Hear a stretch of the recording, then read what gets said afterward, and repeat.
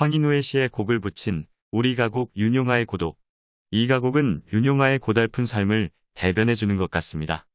그는 가족이 함께 살지 못할 정도로 생활고에 시달리다가 43세라는 젊은 나이에 세상을 떠났습니다. 가을밤에 이 노래를 듣고 있으면 아름다운 가사와 선율에 한바탕 목 놓아 울고 싶은 생각이 들기도 하지만 개운함이 느껴지기도 합니다. 이 곡을 테너 이문균의 연주로 감상해 봅니다. 이문균은 황금의 테너, 발성과 연기력이 일체가 되어 노래하는 성악가, 영웅적인 소리를 지닌 천부적인 테너라는 평가를 받았습니다. 이문균이 세계적인 테너가 될 수 있었던 것은 올림이 크고 초고음에서도 저음의 음폭이 유지되며 가사 전달이 명료하기 때문인 것 같습니다.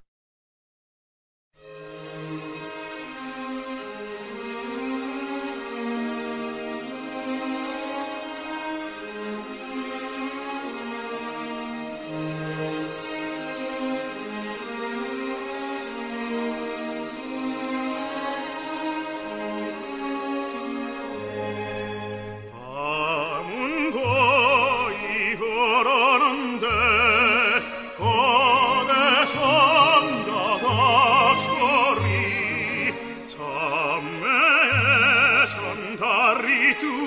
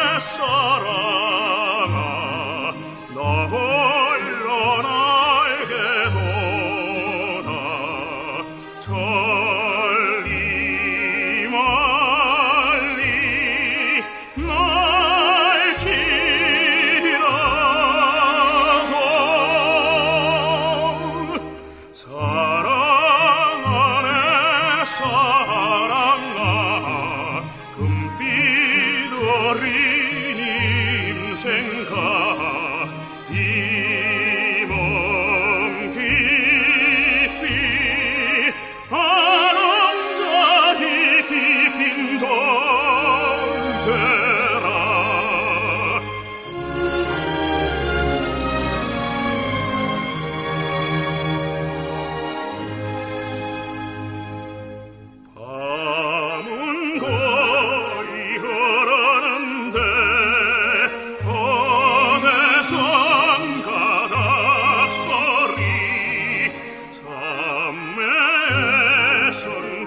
손다리